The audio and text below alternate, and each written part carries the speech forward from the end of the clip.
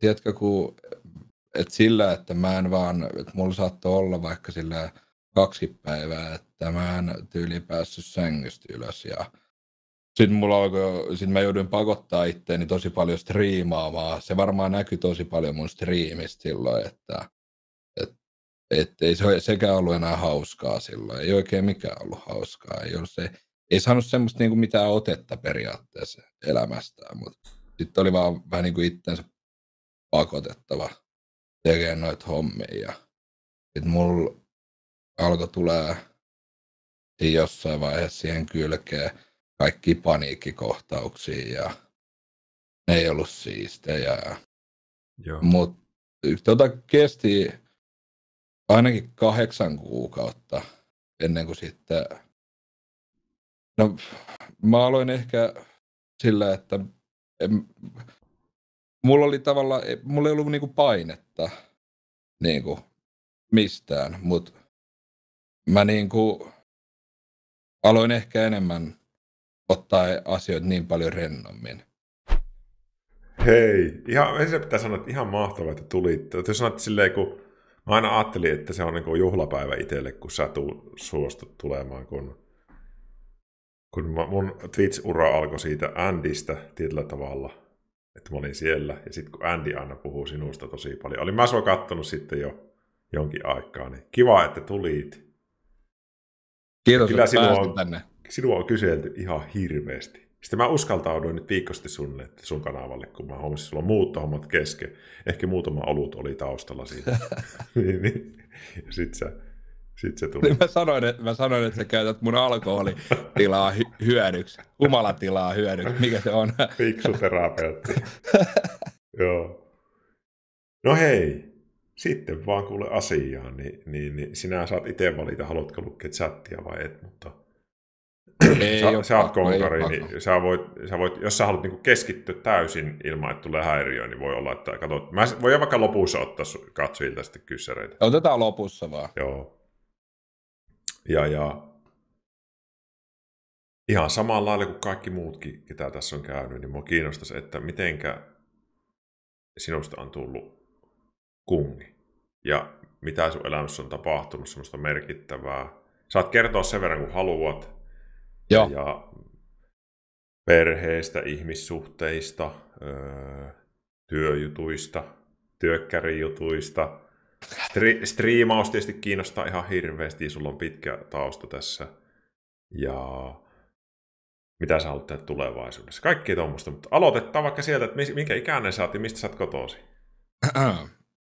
Eli mä oon 24 vuotta, syntynyt 96, elokuussa 25 ja Lahessa asuin 18 vuotta ja sitten joku kuusi vuotta about asuin Kotkassa opiskelemassa, mutta se meni nyt vähän päin persettä. Tai ei se nyt niin päin persettä mennyt, mutta se meni miten meni. Eikö, ei mennyt niin kuin... Mitä sä opit? Ihan Mitä sä opiskelit? Merenkulkualalla laivan perämieheksi, mutta vähän. Eli sillä on ihan tarkoitus, kun sulla on se hattu päässä, se kapteeni.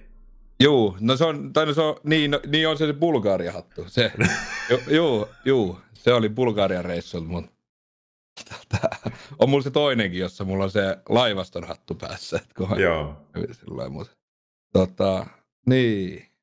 Mut miten mä päädyin sitten striimaan? Itse asiassa ensi kuussa tulee kuusi vuotta täyteen striimaamista. Mutta aloita ihan ekana, että minkälainen perhe sulla on ollut, kun sä tullut lapsi? Mm, paija, mutsi, sitten isoveli, sitten kaksi pikkusiskoa. Mutta siis mun porukat on eronnut, kun mä oon ollut tosi nuori, sillä alle kaksi vuotta. Mä en oikein tiedä tarkalleen, mutta siis silloin kun mä oon ollut alle kaksi vuotta. Ja sitten sen jälkeen mä oon mun mutsin luona asunut Lahessa, Faija ja Jori Mattila. Niin tota, tota, sitten Mutsin puolelta tuli toi Faija-puoli ja Faijan puolelta Mutsi-puoli aika nopeasti kuvioihin. Mm. Messi. Ja Smutsin luona mä asuin sitten, no aika on offi sillä, että välillä mä asuin Faijan luona jonkun aikaa. Joo. Orimattilassa mä kävin Lahes kouluun ja harrastuksissa ja tota, sitten välillä taas mutsin luona, mut ei se semmoista, aika normaali. Normaaliksi mä kuvailen sitä, että ei mitään semmoista erikoista. Tai ainakin mä näen sen normaalina. Joo, joo. Eikä sä et, niin kuin, kun sä, ne on eronnut niin varhain, niin sä et ehkä, tunnistatko sä, että sä olisit kärsinyt erosta?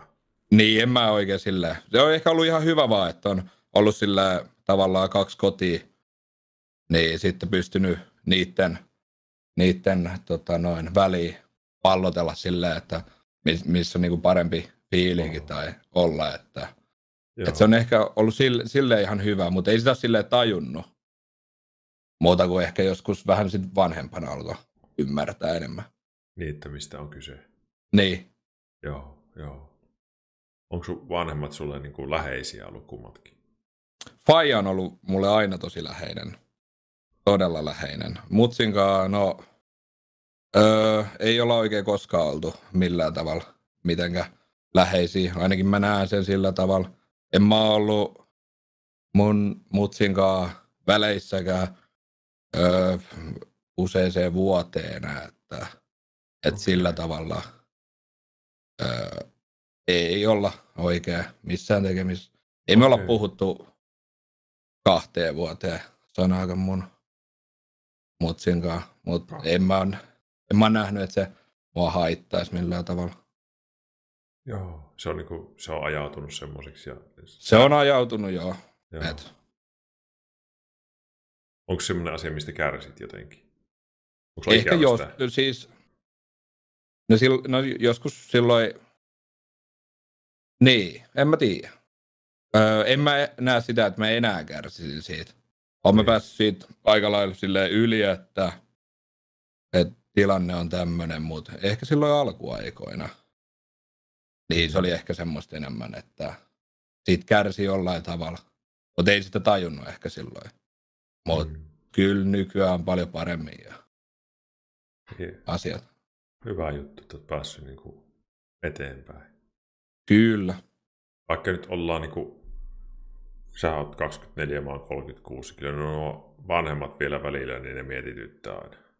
Juu, juu, juu. Se siis kyllähän mä totta kai, vaikka mä en ole mun mutsinkaan väleissä, niin kyllähän mä silti, ei se tarkoita, että mä vihaisin niin. häntä, vaan me ei vaan tulla toimeen, mutta en mä, mä toivon sille kaikkea hyvää ja sille, että niin kuin ihan, tiedätkö, että ei mulla mitään niin kuin pahoja fiiliksiä sitä kohtaa sen kannalta, mutta ei me vaan tulla toimeen millään tavalla. Niin Joo. Se, se on ehkä syy, miksi me ei olla väleissä. Sä oot niin kuin ja sä oot valinnut, että ei se vaan toimi.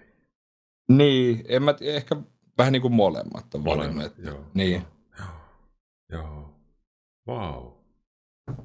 Isä on pysynyt sulle läheisenä. Joo, Faija on ollut tosi läheinen mulle aina. Kaikkea, mitä mä oon harrastanut, putista, jääkiekkoa, ihan kaikkea. Tätä striimihommaa tehnyt. Se on aina tukenut mua kaikessa ja silloinkin, kun ei olisi pitänyt edes, tai sille ei olisi niinku tarttunut semmoista tukea, niin se on tukenut aina ja on mulle iso roolimalli ja tota, et, ihan no, kouluhommissa se ei ole ehkä niin paljon tukenut, kun ei sekä niin hy- tai se ei ollut niin hyvä koulussa, niin se ei, mm-hmm. se ei mm. pysty niin tukemaan, mutta mutsipuoli enemmän sit tuki koulussa, mutta Fajalle on kiitollinen siitä, että ihan kaikessa, kaikessa mitä on tehnyt, niin on ollut aina siinä, ei ole semmoinen niin kuin, tota, se on ollut välillä, no totta kai tiukka joissain asioissa, mutta sillä ihan ymmärrettävästi. Mutta antanut kokeilla. Joo, joo. Minkälainen koulunkävijä sä oot ollut elämässäsi? Onko se ollut helppoa vai onko se ollut vaikeaa? Vai? Ei todellakaan. Mä olin, var... mä olin aika vilkas. Ai Olen varmaan nykyäänkin aika vilkas. Mut, tota, öö, ala-asteesta, en mä muista ala-asteesta niin paljon. Niin kuin, mulla ei ole ala-asteesta niin paljon semmoisia muistoja, mitä mä muistaisin. Et aika perus ala-aste. Mä luulen, että mä olin aika semmoista keskitasoa. Joo. Sitten yläasteella Mm, en mä sano, että mua ei koulunkäynti kiinnostunut. Mä olin mä olin vaan silleen, että mua, mä, en, mä en osannut ehkä opiskella. Joo. Että, et, tota, ja joskus sitten ysiluokalla mun keskiarvo taisi olla päättötodistuksessa 6,9, 6,8 paikkeilla aika huono. Joo. Mä kävin sitten kymppiluokan ja siellä se sitten nousi, mutta ei mulla oikein noista peruskouluajoista niin vahvoja mitään muistoja, että mä muistan vaan sen, että mä olin, mä olin aika paljon jälkiistunnossa, mutta lähinnä se oli siitä, kun mä en tehnyt niinku mitään kotiläksyjä, että ei siellä ole paljon tultu, pe, toi, niin kuin emme perseilyssä mm. lähinnä tommosista asioista. Läksit unohtu tehdä.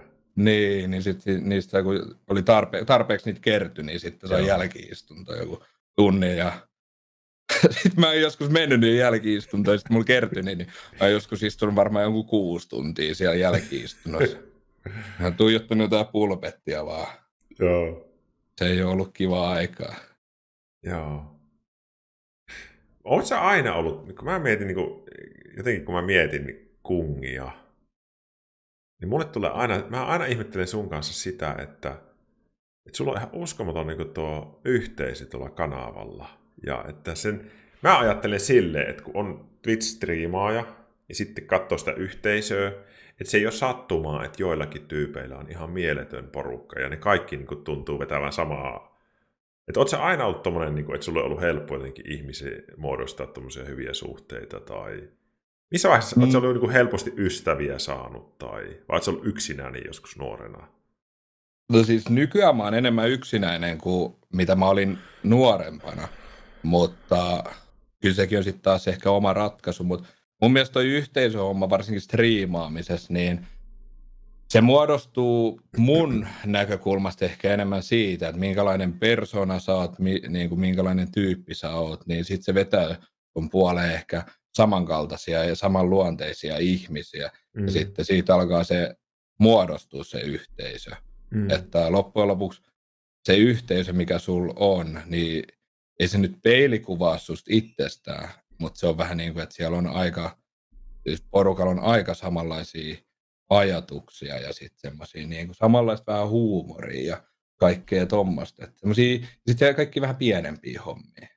Mm. Et, et sit jos on vähän ehkä semmoinen enemmän, että miettelijäämpi riima ja ehkä vähän niin kuin käyttää aivoja enemmän niin kuin mä en käytä, niin sitten se, saat, se saattaa tuoda vähän sitten taas semmoisia ihmisiä sinne yhteisöön, jotka oikeasti pystyy miettimään yhdessä kaikki eri viisaita asioita ja tämmöisiä. Mut, eikö se vähän tolleen mene? On se tolleen, on se ihan totta. Et se, teillä on aika hauskaa juttua siellä. Mä oon vähän semmoinen itse, että mä katson paljon striimejä, mutta mä en ikinä kommentoi mitään, kun on kiva katsella. Niin, kyllä se on niin, että se huumori on niin samalla tasolla jotenkin. Niin, niin, kyllä. Ja sulla on se vai... erityisen jalostunutta, mä oon sitä mieltä. Teillä no, on kyllä. kaikilla niin yhteiset huumoriaiheet. Kyllä mä ihan, mä ihan kaikin puolin aina rakastan tota yhteisöä, vaikka välillä ne saa mut, mun veren kiehumaan suunnilleen. Mutta siis onhan se ihan hienoa, että on vähän enemmän ainutlaatuisempi ja halunnut pitää sen lähinnä semmosena, että jengi saa heittää sitä läppää. Niin. Niin kuin, varsinkin musta saa heittää läppää. Jos jengillä on paha olla, niin haukkuu sitten vaikka mua tai tällä, että en mä niistä suutu. Et mm. Antaa ihmisten käyttäytyä, niin kuin, miten ne haluaa, kun ei, kunhan ei tule niitä ylilyöntejä sitten. Että Juu, kyllä kaikki tuon... älyttömyyksiä. Niin, niin, jep.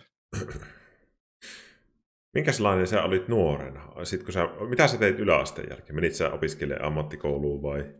Mä menin opiskelemaan rakennusalan kivirakennuspuolta. Mä olin vuoden siellä opiskelussa. Mä olin, että jumalauta, tätä kun mä jatkan toisen vuoden, niin mä, mä, mä en enää tunne mun polviani ja selkäleikkauksessa varmaan käynyt kolme kertaa. Ja se oli ihan kauheat homma. Siis se, polviltaan jossain jotain kiviä asettelit tai jotain painavia kiviä, mä aina mä vedin ne selällä vaan ja, ja sitten sattui ja mä olin, jumalauta. Niin sen vuoden jälkeen sitten mä soitin vaan tonne, itse asiassa mä olin tokalla vuodella, mulla alkoi työharjoittelu saman tien siitä. Mä olin Starkilla, Lahen Starkilla, mä en tiedä, onko sitä enää siinä Joo. launeella, niin mä olin siinä työharjoittelussa ja kolmatta päivää ja olin saanut varmaan kymmenet eri valitukset, kun siellä mentiin semmoisella kulkukortilla aina tänne niin kuin kahvihuoneeseen tai jonnekin, ja ne pystyi seuraamaan sua. En mä tiennyt tuommoista mitään.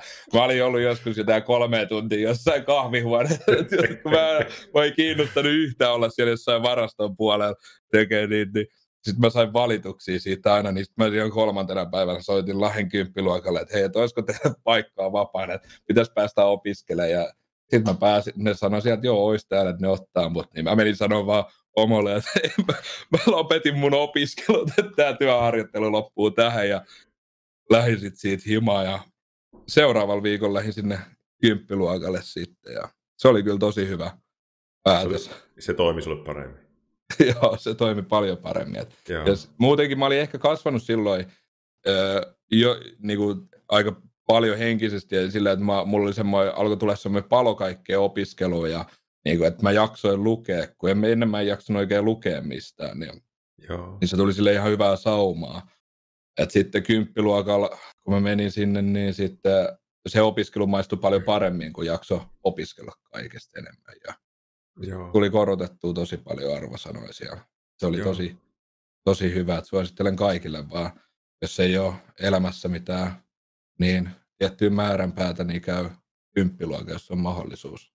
Se on aika monelle niin kuin pelastanut minunkin kavereista, niin itse en käynyt, mutta, mutta tota mun ystäviä moni meni. Ne jotenkin siinä, sinä vuonna niin kuin sai kiinni siitä, että on, on niin kuin hyvä keskittyä kouluun. Kyllä, kyllä. Ja se on varmaan se, että siellä on yleisesti pienemmät luokat. Joo. Joo. Mitäs kympi, kympin jälkeen? Öö, sieltä mä hain sitten tonne Kotkaa sinne merenkulkualan kouluun. Kävin pääsykokeet ja pääsin sisään sinne ja sitten elokuussa siitä sitten sen kesän jälkeen niin muutto Kotkaa. Mun synttäreiden jälkeen mä muistan sen, se kauhea krapula synttäreiden jälkeen saman tien muutto. Krapula muutto. Joo, se oli kauheat, se oli kauheat. Mä olin ollut Tampereella viettää 18-vuotista päiviä. Sieltä mä tulin jollain junalla tai bussi, en mä muista millä mä oon tullut Lahteen sieltä, mutta jollain mä oon tullut Lahteen sieltä ja siis ihan tukka siellä silmät punaisena hohkaa vieläkin sille, että se on paljon nukuttu ja kolme promilleen veressä vieläkin varmaan. Ja sitten suoraan siitä muuttohommiin. Se oli, se oli, niin, se oli, se oli semmoinen niin selviytyä, Suomi, semmoinen niin kuin junttiversio. Miten se on mahdollista, että niin moni ihminen on men, juonut hirveät rapulat itselleen just ennen muuttoa? En tiedä. Se on aika tavallinen semmoinen yhtälö, että hei, mulla on muutto niin. huomenna, nyt juhlistan vähän sitä. Jep. Ja aamulla jep. sitten, hui saakeli. Mutta tässä nyt, joka oliko se viime viikolla tämä muutto, niin nyt mä join vasta muuton jälkeen muutaman oluen, että joo, ei, joo. ei olisi ollut, kun oli se pakettiauto tuossa noin, niin ei olisi ollut ihan hyvä kompo siinä samaan aikaan kuin muuttaa. Niin vaikka siinä alkaa ottaa, kun piti pakettiauto palauttaa vielä. Sehän olisi ollut varmaan vielä ensi viikolla tuosta pakettiauto pihalla. Että... Joo. Sitten Kotkaa asumaan. Miten nuorelle miehelle jos mä laskin oikein, sä oot ollut yli 17, kun sä oot muuttanut itseksi. 18, 18 oli. Sä oot niin 18 tasa... V, sä oot se, mitä tykkäät ehkä juhlia jo vähän, se sä muutat Kotkaan, mikä on tunnettu ehkä tämmöisestä aika, aika menevästä on... yöelämästä. Mulla on semmoinen mielikuva jostain syystä, jos joku on Kotkasta, niin en mä siis, se oli ennen, se oli silloin kun mä muutin sinne, niin siellä oli tosi paljon kaikkia opiskelijabileitä ja semmoisia, että euro, siellä Amarillossa oli euron hanat ja kaikkea tuommoista. Niitä ei taida nykyään olla enää siellä, mutta se oli sen muutaman ekan vuoden. Oli semmoinen. Mutta mä en juonut paljon silloin. En mä parikymppiseksi saakka, siis tosi, tosi harvoin join. Et Ahaa. Mä tota, mä tein ihan kaikkea muuta. Mutta silloin 18-vuotiaana tota, muutin sinne Kotkaan ja aika yksin olin. Mä en tuntenut Kotkasta kuin yhden friendin Joo. En, se oli muuttanut Lahdesta vuotta aiemmin sinne opiskelemaan. Se oli aika yksin siellä, niin sitten siinä jossain vaiheessa 2000, no se oli 2014, kun mä muutin, ja 2015 vuonna maaliskuussa. Mä aloin sitten striimaa sieltä, kun ei ollut, ei mulla ollut oikein paljon kavereita. Mä vaan pelailin ja... Mitä sä pelasit? Ollut, mä pelasin Old School Runescapea silloin. Aa, Tosi. mä katsoin, sä vieläkin pelat välillä. Joo, aika no. jäänyt vähän, että ei siinä oikein kontenttia mm. mun mielestä, tai sisältöä siinä pelissä. Miten sä tajus, mistä tuli, että no hei, mä rupean striimaan Twitchiin? Se on ollut silloin tosi vähäistä vielä Suomessa. Tämä oli semmoinen yksi Runescape-pelaaja, jos jotkut on seurannut tota, niin, kun Finn Migaboy TV striimasi silloin Twitchiin ja sen, sen kaa, mä, mä tapasin sen siis Runessa vai jotenkin silloin. Ja en mä tiennyt Twitchistä mitään. Sitten se striimaili Twitchiin ja se tuu katsoa live striimiä. Mä katsoin, että mikä saitti tää on. Ja mä kattelin sen striimejä siinä aina välillä ja tota, mä olin tällä, että ei, ei jumalauta. Että kerran mä olin siellä Duel Areenalla sitten runessa. Mä olin tällä, että mä laitan live-striimin tästä päälle ja mä hävisin kaikki mun GP siellä siinä ekas lives muistaakseni. Ja mä olin, että ei saatana, vitsi tää on siistiä. Vaikka mä hävisin koko mun omaisuuden runeskapessa, niin mä ei, tää on, tää on siistiä homma. Siitä mä aloin sitten vaan live striimaa. Kiitos Finn Mikaboy TVlle siitä, että... Finn Mikaboy TV. Onko, se, onko toi nimi siihen liittyvä jotenkin? Joo, mulla oli mun Runescape-käyttäjä En Kung silloin, ja sitten oli runkkare ja tota, mitäkään näitä on ollut kaikki. Niin Kaikki se oli... muuta hyviä. Joo, aluksi mun Twitch-nimi oli En Kung, mutta sitten mä sain partneri tuossa neljä vuotta sitten. Ei herra niin, Jumala, no, sä oot ollut neljä vuotta partneri. Niin no ensi kuusi jo tulee neljä vuotta siitäkin, että on ollut partneri.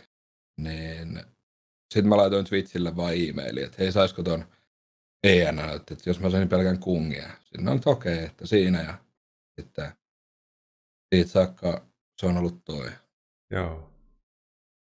Missä vaiheessa tuo sun striimi on niin kuin kun niin kauan kuin mä oon kattonut sille, ehkä mä nyt mietin nyt tätä viimeisintä, mä oon siis ruvennut katsoa 2012, mutta aluksi meni niin kuin hirveästi vaan tiettyjä niin kuin Dotan pelaajia ja tämmöistä, mutta sitten kun on Suomeen siirtynyt katsoa, niin sitten on heti mä vaan muistan, että Kung ja Andy, niin missä vaiheessa sun kanava on niin kuin silleen tullut isoksi? Missä vaiheessa huomasit, että ei hitto, tämähän alkaa olla suosittu? Mm, en mä tiedä. Se meni niin, öö, mikä on suosittu sitten, mutta öö, varmaan silloin alkujaan, joskus silloin Runescape-ajoilla mä steikkasin siellä Duel Areenalla. Se on semmoista kämpläämistä siis, että sä otat semmoisen 1v1 ja sitten silloin semmoinen, että saman rahapanoksen ja sitten ja kumpi voittaa, niin saa sitten ne rahat. Mm. Ja mä sitä teen tosi paljon. Ja silloin oli tosi paljon katsojia. Ne lähinnä Joo. kyllä aika paljon ulkomaalaisia silloin Joo. kanssa. Niin silloin se nousi ehkä ekan kerran. Ja silloin mä sain just noin ton, ton Twitch-partnerin sinne Joo. niihin aikoihin. Mutta sitten mä lopetin Runescapen. Niin sitten mä siirryin jotenkin pelaa pubkia tai tälleen, niin sitten kanava kyykkäsi aika paljon kyllä. Mutta oli siihen tiedossa, kun siirtyi toiseen peliin. Kyllä. Riimannut yhtä peliä, niin sitten sä siirryt toiseen peliin, niin Joo. ei ole oikein paljon semmoista niinku, tota noin, niin semmoisia vakikatsojia loppujen lopuksi ollut. Joo, niin, juu, ne on liittynyt siihen peliin niin kuin silloin vielä. Joo. Niin, ja varsinkin kun se striimaaminen oli niin sitä pelkkää Dual Arena aika lailla. Oli siinä kaikkea muutakin runessa, mutta aika pitkälti se oli sitä steikkaamista ja jotain vodkulin juontia siinä samalla. Ja, tota, mutta sitten Karava kyykkäsi jonkun verran, mutta sitten oli vaan pakko grindaa ja se oli helppoa silloin, kun opiskeli. Joo. Niin oli ihan helppo grindaa vielä sitä kanavaa, että ei ollut niinku, ei ollut, ne ei ollut niinku ne, et, ei tullut niin tuloja oikein. Joo. Niin se oli, ei ole semmoista stressiä niinku. Joo, joo, se oli vaan semmoista vapaata. Niin, niin. Että sanotaanko, että opi, opintotuki oli tärkeämpi tulo kuin Twitchi? Juu, juu, oli, oli, se oli, oli tärkeä. Joo, ei silloin Twitchistä oikein mitään tullut. Siis ihan Joo. puhutaan varmaan, siis ihan, ihan siis tosi, tosi minimaalisia semmoisia Joo. Tota, Mutta sitten lopetin Runescapen, siirryin vähän kaikkeen muuhun. Just Bubkia pelasin tosi paljon silloin. Mä, kyllä mä silloin kaikki kasinoit pyörittelin. Ja mun mielestä silloin alkoi tulla myös IRL-homma. Sä oot sitäkin tekemään aika ajoissa jo. No sitä jo aika lailla sitä koitettiin silloin, kun se tuli. Mutta se oli aika bugista silloin vielä sillä, että siinä ei ollut, tai ne softat, ne puhelinsoftat ei ollut niin hyviä, ainakin mitä Joo. mä muistan. Mutta sitten oli ne yhdet assemblyt siinä, niin en mä tiedä. Silloin se alkoi sen jälkeen nousee. Mä, tota noin, Anssi, Andy tota noin, pyysi mut vaan, me ei tunnettu mitenkään, pyysi mut sen hotellille dokaamaan ja tutustuttiin vaan sieltä. Ja sitten Anssin kautta ehkä alkoi enemmän jengi näkee mun kanavaa. Anssi, Anssi, minä vuonna te olette tutustunut siis? Siitä aikaa jo aika monta vuotta. On siitä monta vuotta. Onko tästä nyt se... Öö, mikäs? Niin onko sitten se vi, viisi vai viisi Joo. vuotta vai neljä, en, viisi. Ja nämä vuodet menee tälleen näin, niin en niin, mä ole ihan ei, varma. Ei, mä, en ole ihan, mä, en, mä en ole ihan varma.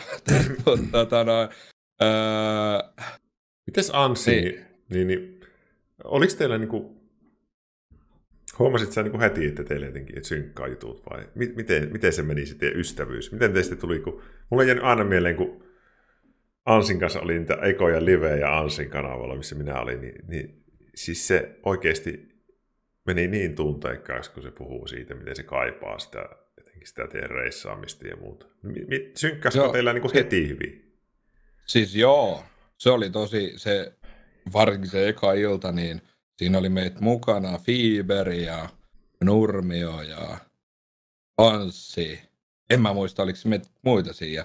Meillä oli siis ihan törkeän hauskaa. Siis ihan siis silleen, että tiedätkö, ihan kaikkien kanssa. Se oli semmoinen niin kuin kunnon hyvä kimppa siinä. Joo. Varsinkin minä, Fiber ja Anssi, niin moi kombo, että No se on kyllä. Et se, se, Sitten se vaan lähti siitä sillä ja siitä saakka aina ollaan tota noin, nautittu toistemme seurasta. No, enemmän ja vähemmän, että kyllä mm. meilläkin varmaan joskus on kaikki jotain eri puraa, mutta siis todellakin nautitaan.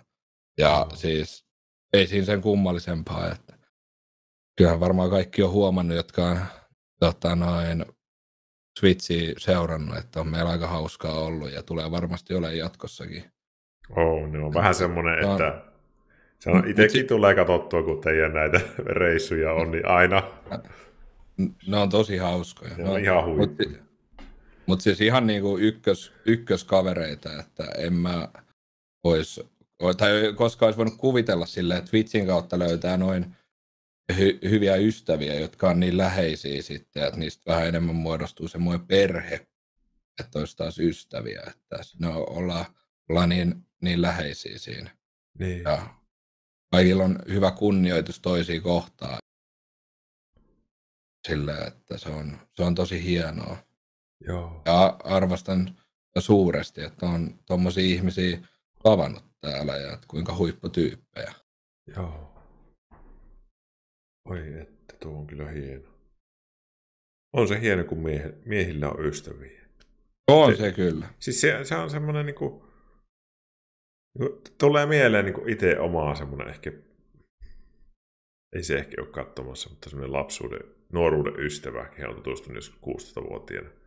Me vieläkin kirjoitellaan melkein päivittäin toisillemme viestejä, vaikka me ei nähty, kummallakin on lapsia ja perhettä ja työt ja se asuu siellä Kuopiossa, mistä minä olen muuttanut, mutta että kyllä se vaan niin on täällä iso juttu, että on semmoinen. Kyllä, eikö se ole hienoa? Tosi hienoa. Että oh. On, että on, on, niinku, on, on ne tärkeitä juttuja. Mutta meilläkin vähän sa- mm. no, noihin niinku samoihin asioihin perustuu tavallaan, että ei mekään loppujen lopuksi niin paljon nähdä, mm. mutta sitten me taas tosi paljon jutellaan ja aina kun me nähdään, niin sitten meillä on ihan samanlainen meininki ja me ollaan, että niinku, se ei ole loppujen lopuksi semmoista, että me nähdään niinku päivittäin, kun tosi monet muut niin kuin kaverit näkee toisiaan. Vaikka. Niin. Et meillä on, niin voi olla vaikka puoli vuottakin, kolme kuukautta tai tämmöisiä pidempiä jaksoja, että me ei nähdä. Sitten kun te olette kiertänyt maailmaa, vittu ne teidän reissut. Ne on ollut ihan huikeita. Ei, missä sä olit mukana aina ja, ja, ja en tiedä, mä, mä, mulla ei mieleen joitakin, missä sinä otat tyyliin mikiin ja oot sille jotain sun heitit jotta ihan hölmöä. Jossain tapahtumassa, se oli ihan mahtavia. Joo, ja meillä oli se Bostonissa, kun me oltiin Janssin kanssa, niin tota, me oltiin pelaamassa siellä lavalla bubkia ja sitten siinä oli aina noiden karttojen välissä oli haastattelu. Ja meidät otettiin Mä siihen haastatteluun sitten sanoin suomeksi. Tämä meni suomeksi siellä Bostonissa se haastattelu siihen. Se oli kyllä, Mä laitoin ennen haastattelun Viiverille viestiä sieltä Bostonista, että nyt menet katsoa sitä riiviä, nyt tulee terkut suomeksi. Ja, öö, nyt mä heitin siinä terkut Viiverille siinä haastiksessa. Terveisiä. Haastattelija ei ymmärtänyt mitään. Niin. Joo. Kaipaat sä noita reissuja? Nyt kun on Kyllähän niitä, no niin, totta kai niitä kaipaa. Totta kai niitä kaipaa. Ne on ihan huikeat ja hienoa, että pääsee tekemään niitä, niitä hommia. Mutta kyllähän ne tulee jossain vaiheessa sitten takaisin. Toivottavasti mahdollisimman nopeasti. Että, mm. et, kyllähän nytkin siis, vaikka no on korona, niin voisihan sitä matkustella, mutta onko järkevää? Ei ole järkevää niin mun jo. mielestä. Että odottaa vaan, että, että kyllä et, ihan sama, että jos siellä menee vaikka se kaksi vuotta vielä, että joutuu venaan, niin kyllä mä sanon, että se on ihan se on niin kuin vörtti, että niin. venaa sen ajan sitten. Ja, Hieno asenne. Kyllä sitä ehtii matkustelemaan. Toivottavasti tämä maailmantilanne nyt saataisiin enemmän kondikseen, että ei semmoinen yksi matkustelu, live streami homma niin ole niin järkevää jossain Euroopassa mm. varsinkaan. Joo. Joo. No mites tota, sit sä asut, sä oot jossain vaiheessa muuttanut sieltä. Muutit sä suoraan Kotkasta tonne Viroon vai? Joo, mä muutin suoraan Kotkasta. Mä olin niin kyllästynyt Kotkaa ihan kaikin puoli. Mulla oli jäänyt koulu kesken. Mä oon siis, mulla ei ole montaa kurssia jäänyt koulusta. Mutta Mi- se koulu miten se koulu muuten, se venyi, se venyi ja venyi ja sit, oliko se niin, että sä et vaan enää millään niin pystynyt siihen? Joo, siis olisin mä pystynyt, jos mä olisin halunnut siis varmasti jatkaa, mutta se ei millään tavalla mua kiinnostanut enää. Joo. Mä en tiedä, johtuuko se näistä striimihommista, mutta tai yleisesti ottaen se erämiestutkinto ei kiinnostanut mua. Et se mua on vähän harmittanut, että miksi mä, että mä olisin mieluummin halunnut ehkä loppujen lopuksi sinne konepuolelle, konemestaripuolelle sen mä olisin varmaan käynyt jo aikoja sitten loppuun, ja se olisi niin ollut semmoinen, joka olisi kiinnostanut. Mm. Et mä tein siinä vähän semmoisen virheen, mutta kyllä se meni alkuun ihan hyvin. Toka, vu- no, toka vuosikin meni vielä hyvin, mutta sitten kolmas vuosi meni aika, aika pipariksi siinä, ja sitten otin välivuotta siitä, ja kävin armeijan välissä, ja Joo. Siinä. Sitten mä yritin uudelleen sitä, mutta kun ei ne enää näe sitten, kun ei siinä ole vaan niin semmoista motivaatioa tehdä sitä hommaa. Ei, se, on, se on tosi vaikea, kun on niin kuin ihan nolla motivaatio. Joo, joo. Niin, niin nousta sieltä sängystä ja mennä sen koulun penkillä vaikka kahdeksaksi tunniksi opiskele sitä, mikä ei kiinnosta. Vaikka se oli, jäi niin pienestä kiinni, niin ei, mulle ei vaan niinku riittänyt siihen. Joo. Toi on muuten semmoinen juttu, mitä mun työssä kohtaa ihan hirveästi, kun se käy nuoria opiskelijoita terapiassa, niin sehän on niin, että aika moni on kokenut samaa, että, että on tyyli lopputyö tekemättä neljän vuoden opinnoista, ja sitä vaan ei saa tehty. Joo, joo. Se ei, kun ei ole motia, niin se on niinku tunkis neuloja kynnen alle se koulun käyminen. Se on, niinku, se no, on tosi vaikea löytää. Aika hyvin, hyvä vertauskuva, että joo, se on. Oliko iso Joo. päätös sitten, niin kuin, että no nyt se loppu? Ei, ei mun mielestä ollut niin iso päätös, tota noin, että mä lopetan sen koulun ihan sen takia, koska mä tiesin sen, että se ei kiinnosta mua ja haluan mieluummin sitten opiskella semmoista alaa joskus, mikä oikeasti mua kiinnostaa. Et, mm. et, kyllähän tuossa on kaikki kaikki on auki. Että, Mm. aika, helppo, aika helppo päätös. Et mä vaan ke- kerroin mun faijalle siitä ja sekin oli silleen, että okei, että no, jos se on sun mielestä no, hyvä päätös, niin, kuin, niin kyllä sekin sit tuki siinä mua. Mutta kyllä mä tiedän, että sitäkin vähän harmittaa, että mä en valmistunut sieltä, mutta Niin. kyllä se ehkä ymmärtää sen mun tilanteen. En mä tiedä, olisitko sä sitten siinä työssäkään viihtynyt, jos. En, No, mä no. jos mä olisin valmistunut sieltä, mä en olisi tehnyt päivääkään niitä hommia. Niin. Et- Niin. Onko vielä jotain alaa, mitä sä haluaisit opiskella? Kyllä, Stri- siis- striimaaja ura vielä pitkäaikainen ajatus vai? Mua kiinnostaa semmoinen. Siis, öö, on mulla. Siis mulla olisi se just se konepuoli sieltä Joo. merenkulkualalta. Siihen mulla on tosi paljon kiinnostusta ja varmaan se on sitten seuraava, seuraava että merenkulkuala on ihan hienoa ja tykännyt aina siitä. Mm. Niin kuin ihan junnusta saakka. Niin varmaan sitä konepuolta mennään käyttää sitä, että jos se ei sitten onnistu, niin katsotaan vaikka joku laivakokin puoli vielä siitä, että jos se vaikka kiinnostaa se. No ei, no ei nyt ehkä sitä, että ei musta kokkiin. Joo. Joo. Ja sitten, siis kauan sä oot asunut tuolla? Sä asut Tallinnassa. Joo, Tuosta elokuussa. näkyy Berska ikkunasta, niin mä tunnistan suunnilleen. Mä oon just Niin käynyt joo. siellä monta kertaa itsekin. Joo. Joo. Sä asut On ihan keskustassa. Juu. Ei, ei varmaan oikein paljon keskusta, keskustammaksi pääse tästä silleen, että tähän muutettiin. Liittyykö siihen se Viime- Jyppe jotenkin? Jyppe, joo, Jyppe asui täällä, tota noin, no se Jyppe muutti, öö, milloin, eilenä, eilenä pois täältä, niin Eilen. juu, tuli hakea tavaransa. Jypen Mihin se, mu- muutettiin. mihin se Jyppe muutti? Jonnekin kankaan päähän, missä on kankaan Voi pää. että. Joku voi, Siinä- joku, voi, joku voi googlettaa, että missä on kankaan pää. Sitä ei varmaan löydy, löydy edes kartalta. Voi että. Ai se Mut joo. sinne. Se oli, taisi olla sen kotipaikka muistaakseni, se joskus pu- puhuu. Se Jyppehän oli tässä silloin syksyllä. Niin. Joo, joo. Juu. Joo, joo niin taitaa olla sieltä jostain. joo. Jos, mut sen kanssa muutettiin, siis mulla oli aikomuskin siis ihan jo vuosi sitten, about, no, e, yli vuosi sitten, mm. että mä Mm. muutan. Mutta sitten tuli tää kaikki koronahässäkkää tälleen näin, niin en mä sitten viittynyt sen aikana. Mä Mm. ajattelin, että sitten kun enemmän maailmantilanne rauhoittuu ja no kesän aikana kun se rauhoittui, niin sitten elokuussa muutto, kun sai kaikki, no, noi, no sai kämpän ja tämmöiset, niin Mm. muutettiin. Että mä oon aina halunnut, että olisi kiva koittaa ulkomailla asumista.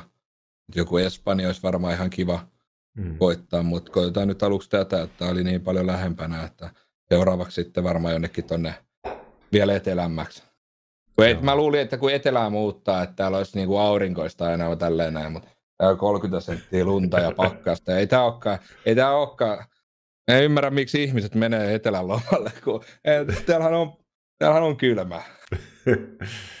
sä, sä oletit, että siellä on niinku muun näköistä. joo. Niin. Minkälaista, On. siellä, minkälaista siellä on ollut olla? Onko sun elämä muuttunut paljon? Oletko sä nauttinut siitä? Onko ollut jotain huonoa? Mm, ei, no, siis ehkä sillä, että on no, elin, no, elintaso on halvempi. Tai siis sillä, että ei, ei mene niin paljon rahaa kaikkea. Että, Mm. öö, kaikki on tosi lähellä tässä. Oli Kotkassakin, mutta Kotka ihan pikku kylä. Mm. Semmoinen ei niin viihtynyt. Mutta se, että nyt elokuusta saakka kun on asunut täällä, niin en mä paljon mitään tehnyt täällä, kun täällä on aika paljon suljettu paikkoja koronan takia. Joo. Niin aika lailla neljän seinän sisällä sit salilla käynyt lähinnä. Että ne on semmoset, mitä on tullut tehtyä. Ei tässä nyt oikein viitti, viitti mitään. Joo, se Mitään ja, ja, ja ei, ei ole Niin. hirveästi nähtävyyksissä tullut pyöritty. Ei ole tullut, että katsotaan sitten kesällä enemmän, kun on kivoja kesä, kesäsäitä, niin kiva käydä jossain tuolla kattelee vähän tota Mm. Ärnyyspäin tai jossain muualla. Että jossain muualla tuolla Saarenmaassa päin tai tämmöistä. Eikä nyt tuolla ulkona, on niin kylmä, niin kukaan jaksaa olla. Että katso Ei. jotain kivoja monumentteja. Meri, mereltä tuulee kylmästi. Niin, niin. Joo. Pärjääkö Mut- siellä niin kuin striimaajan palkalla niin kuin paremmin? Et Kyllä mä- asu, asunnot ja kaupat on halvempia. Ja... asunnot on todella paljon halvempia. Kaupat, niin no sehän riippuu taas, että mitä sitten ostaa. Niin. Mi, et onhan, et jos, onhan täällä Prismat ja siellä on suomalaiset tuotteet, mutta aika lailla ne on samaa hintaa kuin Suomessa, mutta sitten on ne paikallisia tuotteet, jotka on sitten, voi olla halvempia tai voi olla kalliimpia, mutta yleensä Joo. halvempia ja ravintolassa syöminen niin on hal, halvempaa. Kyllä mä näen, että mutta vuokrassa on varmaan se suuri ero, että jossain tuossa ydinke, tai tässä ydinkeskustassa joku varmaan kaksi on vuokraa joku 600 euroa, kun taas Helsingissä varmaan Tu, ydinkeskustassa tuplat kaksi. ainakin. Niin, en tiedä saako edes, Ei, varmaan silleenkin. niin, tonni 300 varmaan, tonni 200 Niin. mitä. Niin, ja asut Joo. ison kaupungin ihan siis, että sä kävelet siitä alas, niin siinä on kaikki. Niin, Joo, joo. mutta se on vähän silleen, että miten itse tykkää sitten asua, että, että, että voi, kyllähän täältäkin sitten, jos haluaa jostain tuolta Lasnamäestä päin kämpän, niin siellä saa jollain 140 vuokrakämpää. niin, se on ihan puoli ilman. Se on joo, se on semmoinen, se on vähän kuin menisit takaisin Neuvostoliittoaikoihin. Ja, Joo.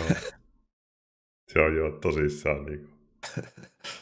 Mites hei muuten niin kuin elämä siellä, niin mitä kaikkea sä oot tehnyt? Onko elämä muuttunut? on aika paljon muuttunut. Syksystä saakka on seurustellut Ellan kanssa. Asiat Joo. mennyt tosi hyvin. Nauttinut tosi paljon. Huikea ihminen kaikin puolin. Pitää meikäläisessä jonkunnäköisen järjen päässä, mitä pystyy pitää vielä. Ja tota, Hitto, minä säikähin joku, sulla oli yksi päivä sellainen otsikko, että ero tuli. ai, niin, Mä olin, se ihan mä olin silleen, kun sulla on noin vitsit, minä olin, että ei kai se oikeasti totta, kun mun mielestä kun teidän sitä juttua on katsellut, niin, niin teillä on niin hauska kommunikointityyli, että Jep. miten te törmäsitte Ellan kanssa? Nyt tapaamistarina. Öö, no siis. mä pyysin Ellaa mun kanssa solariumiin. Mä en ollut koskaan käynyt ennen solariumin, niin mä pyysin sen solariumiin mun mukaan. Ja mentiin sitten solariumiin ja siitä illalla mentiin katsoa BBtä. BB oli alkanut just Joo. joskus silloin siihen aikoihin. BB oli alkanut jossain, sitä oli, se oli pyörinyt jonkun aikaa.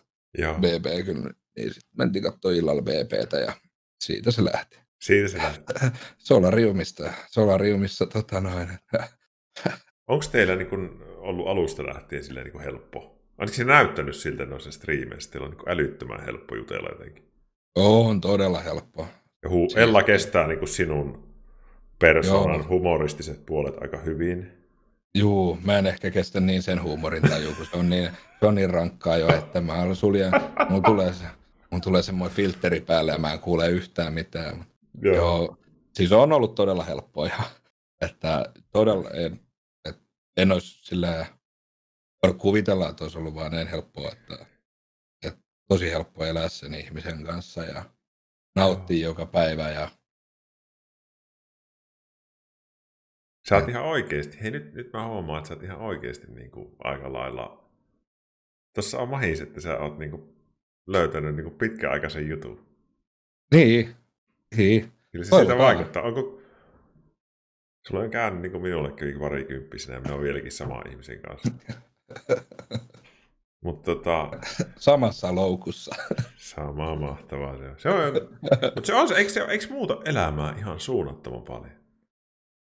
Ei, ei, se, No, siis, Olit sä kova seurustelemaan nuorempana? Olit sä enemmän sellainen, En että mä, vähän en mä tiedä. En mä, en mä oikein tiedä sillä, että onko mä ollut koskaan oikein kova seurustele tai millään tavalla. Niin, Öö, niitä on tullut ja sitten niitä on mennyt. niin, Ja sillä, että elämä on vienyt ja elämä on tuonut. Ja, et, aika lailla varmaan semmoista aika normaalia nuoren Joo. arkea. joo, Että, että mulla on ollut tosi hyviä muija ystäviä, joiden, jotka on niinku mulle vaan pelkkiä ystäviä. on varmaan joskus friendzonannut mut ja mä en ole koskaan tajunnut ja sit niistä on tullut mun ystäviä. Ja, Joo, joo. ja tota, sitten, sitten on taas ollut semmoisia mammoja, joita mä oon ajatellut, että, että, että kyllä tonkaan voisi seurustella, mutta ei toi nyt ystävä voisi olla sillä, tai sillä Niin, jännästi. niin, niin, niin, niin. Joo. Ja Ellassa on nyt jotakin varmaan vähän erilaista huomaa, niin kuin tästä, miten sä puhut siitä. Joo, se on. Mun mielestä on ollut tosi tärkeää, että meillä on aika samanlainen huumorintaju ja se, että kumpikaan oikein suutu niin pienistä, vaikka no, ehkä välillä, jos mä tamppaan täällä kah- joskus kolmen aikaa yöllä ja se ehkä saattaa siitä pää huutaa mulle, mutta tota noin, Se oli, aika, oikein hyvä. se oli aika hauska klippi. No oli hyvä biisi siinä, kato, Oli. niin olihan se pakko. pakko Helvetti, kello on kolme yöllä. se oli Niin. Joo. Mut on se, mut on se siisti on ollut ja toivottavasti tulevaisuudessa jatkossakin on, että, että Se on. Se on semmoinen... Se on paljonkin siitä, että kummatkin päättää, että vähän niin kuin, kun tulee hankalaa. Sehän tulee ihan varmana joku jossain kohtaa. Onko se vuoden niin. Kahden jälkeen semmoinen olo, että ei jaksa nyt. Niin siinä kohtaa pitää niin kuin päättää, että ei luovuteta. Kyllä, kyllä. Että nyt vaan väännetään läpi ja lähdetään treffeille. Ja... En tiedä sitten, milloin teille tulee perhettä ja muuta tuommoista. Sekin vaikuttaa paljon. Ai ai, ai ai. Ei ole Joo. vielä. Ei ole, ei ole vielä tullut, tullut, Joo. tulossa, että vaikka mä kysyn joka päivä siltä, että onko se raskaana. Niin. Se ei ehkä niin tykkää siitä mun kysymyksestä. No niin. Mutta se sanoo nykyään, että mä oon raskaana kolmannella kuulla. Sitten tökkii mun maha. kosto. Joo. Joo, voi että. Eli nyt on siltä osin sulla on niin kuin jotenkin, onko elämä hyvin, niin kun on, on tämmöinen tilanne? Nautit sun elämästä tällä hetkellä? Todella paljon nautin. Joka päivä. Kivan, kiva herätä joka päivä. Tai silloin kun herää vähän aikaisemmin, niin sehän vähän niin kuin, ja silloin nyt vähän vituttaa, mutta kun Niin. on, on nukkunut joku neljä tuntia, kun katsonut jotain NRI yöllä, mutta joka aamu on kiva herätä ja siis elämä hymyilee. Et kaikki, on, kaikki on ainakin omasta mielestä hyvin, Joo. hyvin tällä hetkellä ja nautin siitä, mitä teen. Ja... Mutta kyllä saa olla kiitollinenkin sitten taas, että on, on tämmöisessä tilanteessa, missä on Mm. nyt. Vaikuttaako se parisuhteeseen, kun on tuommoinen vähän niin kuin julkinen pariskunta? Jotenkin. Oletko sä huomannut, että se vaikuttaa teidän olemiseen mitenkään? En mä oikeastaan oo. Ei, en mä silleen huomannut, Et Niin. onko vaikuttanut. Te välillä teette Mut- yhdessä liveä, mutta ei silleen, Niin. niin. ei säännöllisesti välttämättä. Niin. Niin. Mut et se, on, mut se on tosi hyvä, että sitten Niin pystyy tehdä niitä yhteislivejä sillä, että molemmat nauttii niistä ja tajuu sen koko niinku, tavallaan tämän Twitchin striimaamishomman, niin se on, Kyllä. se on tosi hyvä. Mutta en mä oon nähnyt, että siinä olisi nyt mitään niinku, semmosia mi, niin miinuksia. Joo. Joo. Ja- Hei, ootteko te tavannut toistenne vanhemmat jo? Juu, mulla oli striimi päällä silloin, me mentiin käymään sen. Siis ensimmäisellä käynnillä. Joo, mulla oli stri- live-striimi päällä silloin. Hella pakotti striimaamaan sen. Ja Ei. mulla oli Irli-live päällä siinä niiden keittiössä ja sitten tuli sinne himaan. Ja mä voin sanoa, että Oi elämä. mä en tiedä oikein, miten päin mun olisi pitänyt olla siinä. Mä olin vähän silleen, että mä haluan pois tästä tilanteesta, kun on live-striimi päällä. Ja Lafa ja piaras vielä siinä keittiössä, ne kuuluu se vaan, oli Aika rohkeita sen vanhemmatkin sitten. Ne, O- on, ja, mutta kyllä nekin tietää tämän Twitchin homman, mutta olihan se, en mä tiedä, onko kukaan muu sitten ekaa kertaa koskaan live-striimannut sitä, kun on mennyt käymään tuolla Anoppilassa, mutta en usko. Mä veikkaan, että aika, aika lailla ensimmäisiä tämmöisiä. Si, juu. Mutta en suosittele kenellekään sitä, että se voi olla aika kiusallinen kokemus. Siinä kun tulee semmoinen, mmm, mistä jutella? Oh, mitä sä Tomi teet työksessä? Joo. No mites nyt on hyvin asiat? Onko joskus elämässä ollut synkkyyttä tai yksinäisyyttä tai masennusta? Tai onko sulla ollut huonoja aikoja?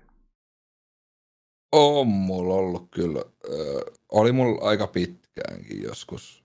Ö, ö, oli vähän semmoista. Ai, en mä tiedä. To, aika, aika semmoista tota, joutui vähän pakottaa itseensä koko ajan eteenpäin. Tää lähinnä nousee sängystä ylös ja... Mihin ikään tuo sijoittuu? Oliko siis siellä Kotkassa? Öö, joo, Kotkassa. Ne, al- ne oli tuossa... Alkoi about viime vuoden lopulla. Alkoi tulee semmoista. Sitäkin en oli ollut ehkä jotain pikkukausia, mutta en mä niistä silleen kun en mä ole koskaan pitänyt itteeni millään tavalla semmoisena masentuneena ihmisenä, mutta kyllä alkoi tajua tuossa niinku viime vuoden lopulla, joskus syksy, talvisi jossain, mä tiedä, että tiedätkö, kun, että sillä, että mä en vaan, että mulla saattoi olla vaikka sillä kaksi päivää, että mä en tyyli päässyt sängystä ylös ja sitten mulla alkoi, sit mä jouduin pakottaa itteeni tosi paljon striimaamaan. Se varmaan näkyi tosi paljon mun striimistä silloin, että et, et ei se sekään ollut enää hauskaa silloin. Ei oikein mikään ollut hauskaa. Ei, ollut se, ei saanut semmoista niinku mitään otetta periaatteessa elämästään, mutta sitten oli vaan vähän niin kuin itsensä pakotettava tekemään noita hommia. Sitten mulla alkoi tulee jossain vaiheessa siihen kylkeen kaikki paniikkikohtauksia ja ne ei ollut siistejä. Mutta tota kesti ainakin kahdeksan kuukautta ennen kuin sitten... No, mä aloin ehkä sillä, että en, mulla oli tavallaan, mulla ei ollut niinku painetta niinku mistään, mutta mä niin kuin aloin ehkä enemmän ottaa asioita niin paljon rennommin. Vaikka en mä silleen omasta mielestäni stressannut, stressannut mistään. Joo. Oli, mä, mä olin aika, mutta oli aika, oli aika synkkiä ajatuksia kyllä, että kyllä mä, olin, kyllä mä tiedostan sen, että mä olin aika masentunut siinä jonkun verran. En mä tiedä kuinka pahasti. Mä en koskaan halunnut lääkäriin mennä siitä asiasta. Ja... Siis sä selvisit ilman lääkäriä tuommoisesta? Joo, mutta mä, kun, kun mä tiedostin sen koko ajan, ihan sillä vaan, että on oikeasti vaan siis mun pään sisästä. Että mä, mä en tiedä, onko se jotain uupumusta ollut jostain, mutta oli se, se, oli, se oli aika niin kuin sille, tosi, tosi rankkaa, että kun sitten joutui niin striimiä painaa ja sitten ennen striimiä mä saatoin olla silleen, että mä olin joku vaikka kuusi tuntia makoillut sängyllä, että mä en pääse ylös, sitten mä nousen siitä ylös, laitan koneen päälle ja striimaa ja kaikki on hyvin. Ja... Mutta kyllä, siis kyllä sen näki varmasti silloin mun striimistä ja kaikkea. Ja e, silloin kun me mentiin roadtripille nyt tuossa kesällä, niin ei mua silloin kiinnostanut yhtään lähteä sinne. Et mä olin, olin mä sille aika vähän paskana siitä, niin kuin, että ei mulla ollut tavallaan mitään motivaatiota tai ei kiinnostanut yhtään. Ja sitten silleen, mutta mä sitten ehkä aloin vaan tekemään asioita toisilla lailla. Se, tää, tää muutti tosi paljon tää, tää Viro muutto. Kyllä mulla tuli täälläkin alkuun jonkun verran paniikkikohtauksia. Jyppe oli ihan ihmeessä, kun joskus yöllä mä oon jossain ollut olohuoneen lattialla ja ihan, tiedätkö, sillä Hirveä olo. Kier, joo, ja kierinyt siellä ja kaikkea, mutta tota, ollut siinä ihan mutta kyllä niistä pääsin sitten yli. Sillä vaan, mä, niin, ja sitten mä siitä kaikesta tämmöisestä niinku, en mä silloin treenannut, kun mä, mä join kanssa aika paljon alkoholia siihen. Mm. siihen. Ja mä en treenannut paljon silloin, niin sitten mä aloin käymään salilla, kun toi Juunas vähän niin kuin raahas mut sinne, niin Se varmaan sekin on, se auttoi tosi paljon, että se on ollut aika semmoista terapeuttista se salilla käyminen, että se on ollut tosi hyvää painoa tähän niin kuin koneellistumiseen ja sitten kaikkea tommoseen, niin sen jälkeen on ollut niin paljon parempi fiilis ja ihan kaikesta, mutta oli kyllä, On ollut oli se, oli se aika hurjaa menoa, se oli aika hurjaa menoa, että kun ei vaan jaksa tehdä mitään ja oot niin semmoisissa synkissä fiilingeissä ja et jaksaisi vastata kenellekään frendeille, kestää joku kolme päivää vastaa jokin frendien viesteihin tai tämmöistä näin, että kun ei vaan Jumala, sä, kiinnosta. sä, sä muuten niin kuin mietin oikein, kun mä oon kattellut sun striimiä tuohon aikaan, että siis sä oot kyllä, sä oot pystynyt piilottamaan sen melko hyvin. Joo, mä, mut kyllä mä muistan siitä keväältä, että siis mulla on ollut kyllä pinna tosi kireällä aika, aika monissakin liveissä ja sit tosi, tosi lyhyt live ei tullut sen takia, kun ei vaan ole jaksanut ja kaikkea. Että kyllä varmaan semmoiset niinku aika OG-katsojat, jotka katsoo päivittäin, niin kyllä ne varmaan huomannut ja Hmm. huomannut sen, mutta Mä sanoisin, että sulla oli, sulla oli masennus. niin varmaan Ja, olikin. Ja, ja, ja siihen liittyy tämmöinen paniikkihäiriö. Niin, niin. Sitä mäkin on tuossa puntsinut ja mutta kyllä se kaikki on takana päin ja kyllä se on vähän sille, kyllä se opettikin sille aika paljon, että just, että et on niinku ni, sen jälkeen niin paljon yrittänyt vaan ottaa asioita paljon rennommin ja kaiken suhteen ja ollut ehkä kiitollinenkin enemmänkin näistä kaikista asioista, semmoisista asioista, mitkä ei ole ehkä niin päivänselviä. Että just tämmöinen, että kun saa tehdä striimihommaa ja duunikseen ja siellä jengi kattoo sua ja ne oli ennen semmoisia päivänselviä hommia mulle, mutta kyllä se opetti sen, että ei ne ole ja sitten kun joutui väkisin tekemään sitä, niin ei se ollut hauskaa. Ne on hirveätä tehdä väkisin striimiä. Sitten on moni Jep. sanonut tässä, että se on niin aivan sairaan raskasta, kun yrität väkisillä tehdä vaikka viisi tuntia, ja sitten tuntuu koko ajan, Niin. että milloin tämä loppuu. Joo, se tuntuu vähän siltä samalta kuin se kuuden tunnin jälkiistunto silloin Niin. peruskoulussa. Onkohan se Nurmion, kun sanoi, että sillä oli semmoisia vaiheita, että, että tuntuu, että ei niin millään. Tuo on pakko ottaa kuukauden tauko että jaksaa striimata. Niin, Kun se ei ole ja- kaikille edes mahdollista se kuukauden tauko rahallisesti. Ei, ei todellakaan ole. Ja sitten oli mullakin varmaan siinä joku kahden viikon tauko ja tota, tulin striimaan ja sitten oli vieläkin semmoinen paskafiilinki. Ja luulin, että sillä lähtee, mutta kyllä mä tavallaan sen selvitin sitten sen oman pääkopan sisässä ja Joo. hyvä niin. Koska varmaan joitain ihmisiä lääkkeet auttaa, on, hyviä lääkkeitä, mutta en mä koskaan halunnut sitten Joo. mennä lääkärin pakeille ja sitten olisin syönyt niitä lääkkeitä siihen, jota se on aika varmasti tarjottu, koska näen itselleni paremmaksi sen, että en vedä niitä lääkkeitä. Sun, en mä, nyt kun sä kerroit on noin, niin se voi olla, että, että jos toivotaan, että ei ikinä tuu, mutta jos sulla joskus tulee tommonen, niin ei sun tarvitse kuvan käydä juttelemassa jollekin siitä, ja se Niin. poistuu. Niin mäkin uskon, mäkin uskon. Mulla kesti tosi kauan kavereillekin puhua tuosta asiasta. Bieberillä mä taisin kertoa ihan ekana tuosta koko hommasta. Se oli jotenkin tosi vaikea käsittää. Joo. Toi. Tai sillä, että Tapa, ei, ei, mua- siinä niin kuin jotain ennen sitä, että sulle tuli, oliko sulla joku kriisi elämässä siinä ennen kuin se alkoi? Vai tuliko se vain yhtäkkiä? Ei mun mielestä. Ei mun Joo. mielestä siinä ollut sillä. En mä muista ainakaan. Muutenkin Joo. en mä muista tosta, siitä koko keväästäkään paljon yhtään Koska- mitään. Että mitä, mitä silloin on tapahtunut. No korona oli, että ei silloin tehnyt mitään, mutta ei mulla ole mitään niin kuin, koko Sä- keväästä mitään semmoista. että- Muistikuvat on vähän siihen. Niin, sekin, liittyy niin todella. ma- sekin liittyy masennukseen. Niin. Hei, helekkari, että sä oot rohkea, kun sä tässä sen sanot. Vitja. Niin mä mietin, mä mietin sitä, että viittis wow. Mä puhua sit. Mä oon yhdessä mun livessä aikaisemmin puhunut tosta asiasta, mutta tota, ehkä se oli parempi sitten täällä puhua tosta asiasta ja tolleen. Hitto, että hienoa, että sä oot selvinnyt siitä tolleen.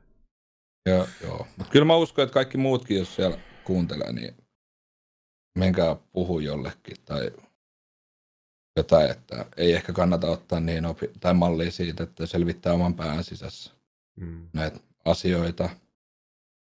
Mutta mä jotenkin näin sen, että mä tiedostin sen niin hyvin, vaan mm. mulle oli vaan se koko kroppa ihan kaikesta. Kaikilla on niin oma, oma systeemi siihen. Kiitti hei supiste kolo. Tota, mä haluan sulle sanoa yhden tärkeän jutun. Mä yritän sanoa tämän sille, että mä en kuulosta yhtään ärsyttävältä, vaan että se on vaan faktaa. Juu. Ja se liittyy, kaikki ahdistuneisuushäiriöt pahenee alkoholista. Niin, niin.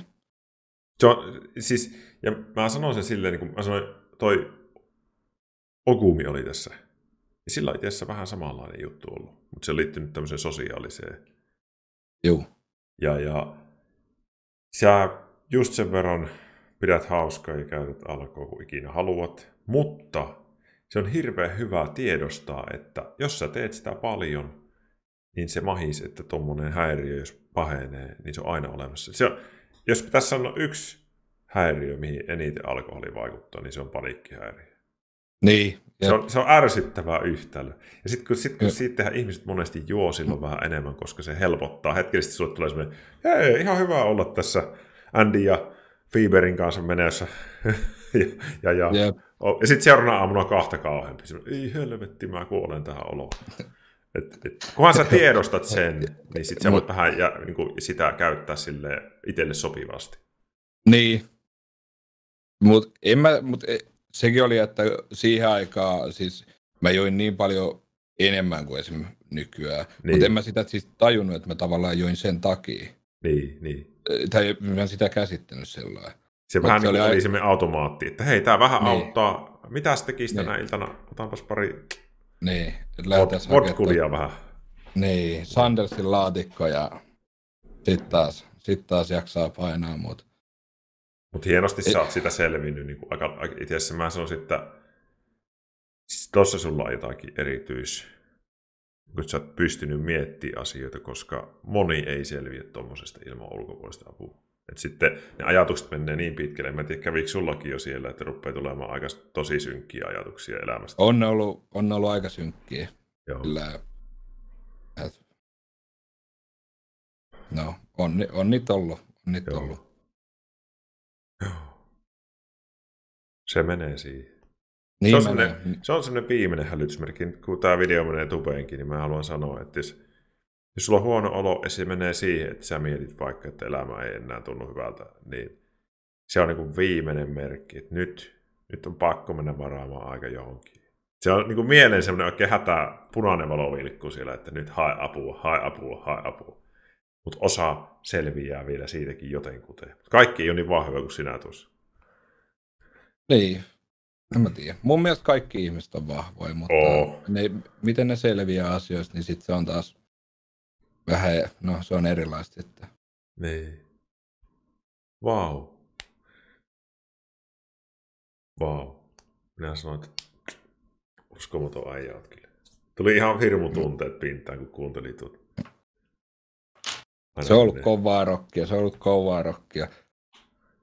Ja kaikki on nyt elämässä hyvin. Just tämä.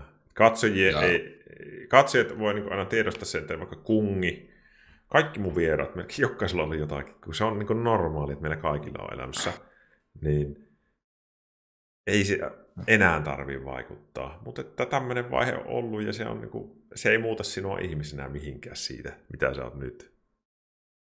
Ehkä, ehkä sä oot niin fiksumpi kaikin puolin, mutta että sinua ei tarvitse varoa mitenkään sen takia. Niin. Tämmöinen. niin. Miten se sitten lähti? Se lähti viime kesänä sitten pois hiljalleen. Joo, Sy- syksyllä hilja... vielä vähän tuntui. Joo, oli syksylläkin joo, mutta kesällä, siinä kesän lopulla, syksyllä, silloin syksylläkin oli, oli vähän sillä, ei ollut semmoista sitä ahdistuneisuutta, semmoista niinku, että on semmoinen niinku paha fiilis tai raskas olo. Ja semmoista. Lähinnä tuli vaan niitä niin kuin kaikki paniikkikohtauksia tämmöisiä. Onko vielä ollut semmoisia paniikkia? Ei, ei ole. Et, tota, viimeisin tuli tuossa vanhassa kämpässä syksyllä. Mä tulin just kämpille, niin hissiin menin, niin siinä alkoi tuntua semmoista vähän... Rupesiko se pyöryttää vai? Joo, vähän, mä tulin hississä, se alkoi siinä hississä, mä tulin hississä tulos, niin alkoi vähän tota noin, tuntuu, että seinät kaatuu päälle joo, siinä ja joo. pääsin siihen kämpille, niin sitten mulla oli joku takki päällä, niin mä päädyin, menin sängylle vaan makoilemaan ja mä olin, ei saatana siinä. Ja mun mielestä Jyppe ei ollut silloin just himassa, vai olisikohan silloin ollut, sillä taisi olla striimi päällä, niin en viittinyt mitään, tiedätkö, sillä. että kun se oli hyvä, kun silloin niitä tuli ja Jypelle ei ollut striimi päällä, niin Jyppe sitten se oli joku, jonka kanssa puhuu siinä. Niin kuin sillä, Joo, se auttaa heti. Joo, niin sitten vesin sängyllä, mutta ei se ollut semmoinen, niin se oli aika semmoinen, että, oli tosi ahdistuneisuus ja sitten mä kietouduin vaan siihen sängylle ja oli silleen, nyt ei, ei vaan pysty. Ja, Onko parisuhde helpottanut hirveästi tota? On se varmasti kans omalta osaltaan helpottanut, että ainakin mä uskon niin. Joo. Että Sä oot pystyt puhumaan tästä sille Ellalle. Ja... Juu, kyllä Ella tietää ja on puhunut. Ja... Kyllä mä uskon, että se on jollain tavalla helpottanut. Et, no ehkä lähinnä sitä, että tullut semmoiseen elämään niin hyvää fiilistä. Otta niin kuin ihan kaikin puolin, että on niin nauttinut joka päivästä. Joo. Päivä päivältä. Joo. Et, liikunta on ihan älytön lääke. Se on paras lääke tuohon. Että jos sä, jaksat, so... jos sä jaksat käydä salilla, niin tuota on niin mahissi, että se tulisi uudelleen pahana, niin ei on aika pieni. Jep, se on ollut tosi hyvä. Suosittelen kaikille, menkää kuntosalille tai ulos kävelemään edes. Sitten mä, jos sulle tulee hei vielä tuommoista paniikkikohtausta, niin tää on tosi simppeli, millä sä saat sen pois. Mulla oli sitten ennen videokin, mutta se hävisi, kun piti klipit poistaa. Rupeat vaan hengittämään tosi syvää. Kun sehän menee siihen, että sun mieli ihan sekaisin käy. Niin, mieli, niin sun pitää keskittyä täysin sun hengitykseen. Se tapahtuu niin, että, että tota, öö, hengität syvää, pistät silmät kiinni ja lasket vaikka sisähengityksiä vaan. Etkä tee mitään muuta. Okei. Okay. Niin se, se, se mieli rupeaa keskittyä siihen hengittymiseen, ja sitten se aika nopeita yleensä paniikki helpottaa niin siitä pois. Se on tosi simppeli tekniikka. Eli silmät kiinni, hengität oikein syvää, keskityt kaikella mielelläsi vaan. Sitten sitä voi vielä tehostaa niin, että laittaa kielen kitaalakeen ja keskittyy siihen, kun hengittää. Mm-hmm. Tosi yksinkertainen no, juttu, mutta se perustuu siihen, että ja aivot huijataan niin kuin keskittymään muuhun kuin siihen paniikkiajatteluun. Ja. Saattaa ja, mennä ohi se kohtaus tuolla. Okei, okay. joo joo. Mä mietin, että no joo. Toi, se on toivottavasti, no jos itsellä tulee tai jollain muulla, niin muistavat on sitten siinä niin. tilanteessa. Se on varmaan vaikea sitten muistaa, että mitä tehdään. Se on semmoinen niin pikku, aina ihmiset, miten se voi toimia. Se on semmoinen huijaus. Niin, joo. Sitten jos pystyy laskemaan 20, niin on jo mennyt aika paljon paremmaksi. Okay. Al- aluksi se yrittää, niin kuin, mutta, mutta joo, helvetin inhottavaa kokemushan se on, pakko sanoa. On. Mitä ihmiset puhuu siitä paljon, se on ehkä yksi, se on yksi yleisimpiä juttuja, minkä takia tullaan terapiaan. Jostain syystä nuorten aikuisten onkelma. Siihen liittyy kaikki stressi, ehkä historia vähän, ehkä alkoholi voi liittyä mutta, mutta se, se vaan jossain kohtaa niin puhkee vähän synkempää aikaa elämässä ja näin. Mutta onpa hienoa, että se on sulla niin pääosin helpottu. Joo. Elä, elää turhaan pelkää mennä juttelemaan vaikka jollekin, vaikka laitat mulle viesti, jos tulee huonolla. Joo, en mä enää pelkää, mutta kyllä mä uskon tai näen sen, että mä oon saanut, mä oon sujut itseni kanssa nyt ja mä oon tota noin, niin kuin tajunnut tämän koko homman, että Joo. Et en mä usko, että toistuu. En sitä koskaan tiedä. Toivotaan, että, ja, ja se on hyvin paljon niin. mahdollista, koska sä oot päässyt tuohon tilanteeseen, sulla on pitkä aika edellisestä. Joo. Et se, kyllä jos sulla olisi se vielä, niin se tulisi koko ajan sitten aina vähän, vähän väliin. Joo. Joo. Joo. Ja sun elämä on ehkä nyt vähän tasoittunut. Niin on se aika paljon, joo. Et joo. Just semmoista, niin joo, no toi on aika hyvin sanottu, että tasottunut toi elämä, että ei ole enää semmoista menoa ja meininkiä tai sillä, että, että aika rauhallisempaa. Joo. Ja varmaan auttaa tosi paljon. Mutta tykkään, oh. tykkään tosi paljon. Kun tulee vanhaksi, niin se on... Tervetuloa. Tervetuloa. Se on kiva, se on kiva kun vähän rauhoittuu. Niin joo. Jollain tavalla. Tiedätkö se semmoinen, on se on niin hauska pitää hauskaa, minäkin olen joskus niin kuin, mutta minä, minähän olen ollut niin kuin, minä olen nuorempana pitänyt omat hauskani ja juhlin, mutta mä olen ollut nyt kahdeksan kuukautta juomatta kokonaan. Oho. Mä en juonut grammaakaan alkoholia kahdeksan kuukautta ja mä ajattelin, että mä en enää ikinä juo tässä elämässä. Oho, aika iso päätös. Siis, ja moni kysyy, että miksi sä teet silleen. No, mä tein se, nyt tässä ei ole mit, mä en halua olla yhtään semmoinen niin nipotte. Kaikki tekee just niin kuin haluaa sinä ja sun katsojat ja minun katsojat. Ja... Mulle tuli aina hirveä morkkis. Vaikka mä jo sixpackin kaljaa, niin minä heräsin yöllä siihen, että ihan hirveä olo. Jaa. Vähän niin kuin semmoinen minimaalinen, ehkä semmoinen ahistuskohtaus. Joka Ai helvetin kerta. Mä en jaksanut sitä enää. Se loppui sen takia. Mutta se mm. alkoi mulla vasta niin kuin vähän päälle kolmekymppisenä semmoinen oireilu. Sitä kutsutaan darraksi. just, just se.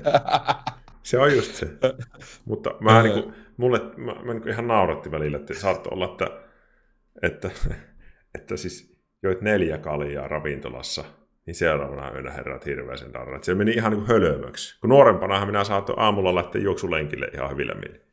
Ja jaa, okei, okay, okei. Okay. Että se niin kuin iän myötä vähän niin kuin paheni koko ajan. Ja sitten mä ajattelin, että helvettiinkö tätä tarvii. Mutta kaikki tekisi, niin kuin, mutta että, se on semmoinen jännä, jännä juttu se. Joo, okei, okay, mutta aika, aika hienoa. Pidän isot peukut, että jos pysyt tuossa noin, että tiedät kuitenkin, että sitten mun tuleviin häihin ei tule kutsua, kun siellä on viinavirta, ei vaan. Onko teille tulossa häät? Ei kai vielä, ei kai vielä. no niin. katsotaan, katsotaan kymmenen vuoden päästä. Terapeutti häihin. Joo. Oi että. Siis tuo oli niin hieno kuulla tuossa juttu. Mä olen iloinen, että sä teit semmoisen jutun, että hir... tässä on paljon katsojia. Tämä itse asiassa varmaan yksi suosituimpia lähetyksiä koko tämä ohjelman historiassa. Se johtuu okay. sinusta. Ja, okay. ja sitten kuin moni tuosta katsojista sai semmoisen fiiliksen, että ei helvetti, jos kungi uskaltaa puhua tuommoisista asioista, niin minäkin voin mennä puhumaan. Totta kai. Se on tämä koko minun kanavan idea on, että kun sinun kaltaiset ihmiset vie niin striimaa tubettit sanoo, että minullakin oli tämmöinen juttu, että se tuntui tältä, ja sitten mä tein tälleen, niin tosi moni ottaa siitä niin onkeensa että ei helvetti, mulla on vähän samanlainen, mä menen kyllä nyt ensi viikolla varaamaan työterveyteen ajaa, tai puhun mun puolisolle tai äitille tai mitä tahansa. Siis toiv- toivottavasti jotkut, tota, jotkut ottaa siitä kopin ja saa itsensä kuntoon, jos tuntuu siltä, että, että onhan se hienoa. Hienoa mm. auttaa ihmisiä, oh. jotka tarvitsee apua, että, että menkää ihmeessä pyytämään vaan sitä apua. Että mua itse just se, että tämä päivä, just kun mä sanoin, että mua on jännittänyt tänne tulo, niin ei mua mikään muu tässä, vaan se, että haluanko mä puhua tuosta asiasta, että silleen niin kuin yleisön kanssa. Niin. Et se ehkä mua jännitti Joo. enemmän, mutta mä tein sitten päätöksen, että kyllä mä voin puhua, että en mä siinä mitään menetä omasta mielestäni. Ja mä toivottavasti jo, joillekin osia saisin siitä vaan mä siihen omaa duunaamiseen ja omaa elämääni. Hmm. Joo, joo, tuommoisen kertominen on jännä. On, on. Kun sä oot Vaikka pitänyt se... sen tolleen sisässä aika vahvasti. Niin... Joo, ja mäkin näen, että siitä on niin pitkä aika, niin, niin. sillä, että...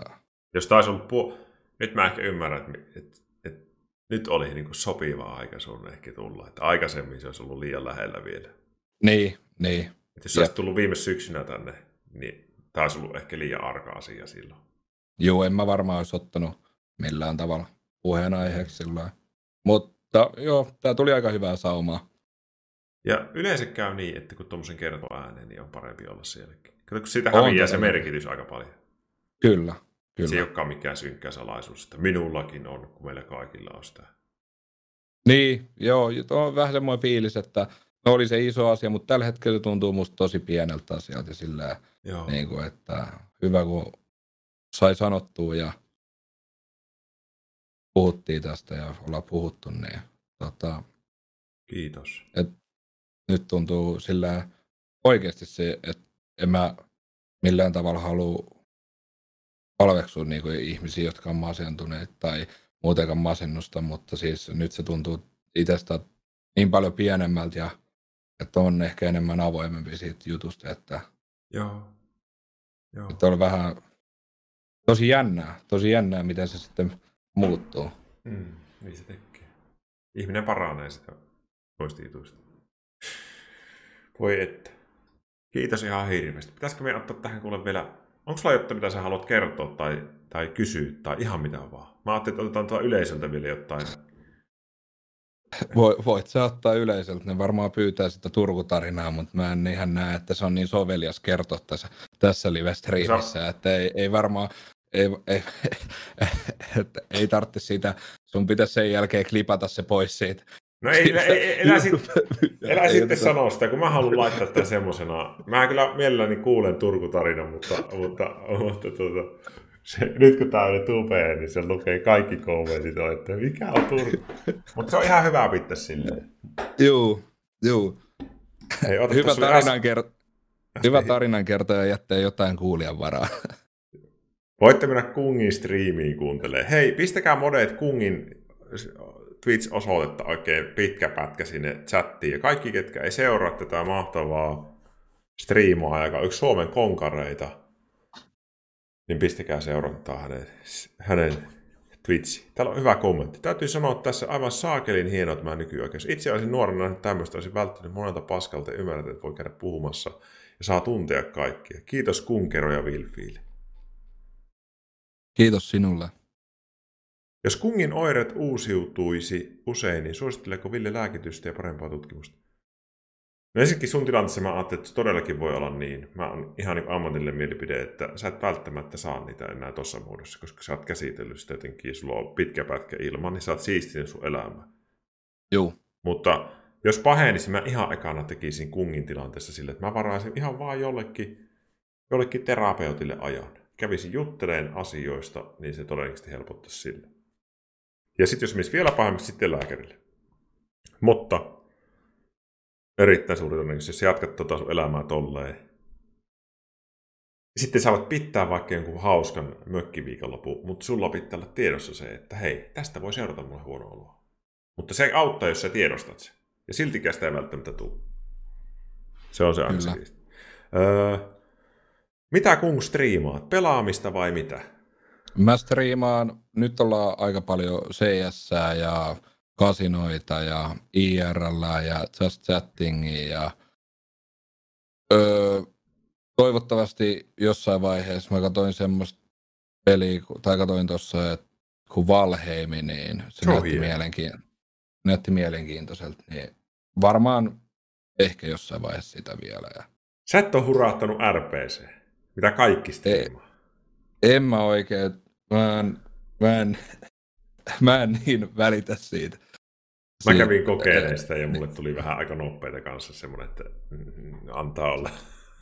Mä, mä en jotenkin näe sitä siis siinä, että, että ei siinä se sis, sisältö mun mielestä siinä ei ole ehkä niin. Tai se kuolee mun mielestä siinä semmoinen hyvä sisältö aika nopeasti, kun mun mielestä siinä vähän pyörittää tavallaan sitä tavallaan semmoista pyöränsä samassa ympyrästä sitä Joo. menee semmoista ympyrää, että jos sinne pääsisi semmoisella hyvällä kaveriporukalla ja jossa oikein kunnolla juttu lentäisi tälleen, se voisi olla ehkä erilaista, mutta ei mulla taida ehkä olla asiaa niille servuille, servuille siellä, niin tota,